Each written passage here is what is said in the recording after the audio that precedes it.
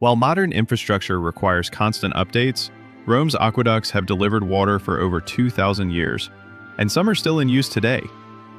The Aqua Virgo, constructed in 19 BC under Agrippa, remains functional, supplying water to iconic structures like Rome's Trevi Fountain. This endurance stems from revealing engineering. Romans used precise gradients, sometimes as slight as 1 meter drop per kilometer, enabling gravity to carry water across vast distances without mechanical assistance.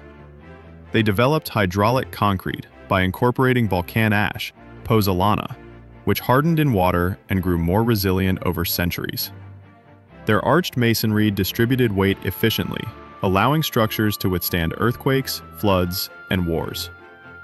In an era of disposable construction, the Aqua Virgo stands as a testament to Roman innovation, durable, elegant, and timeless. So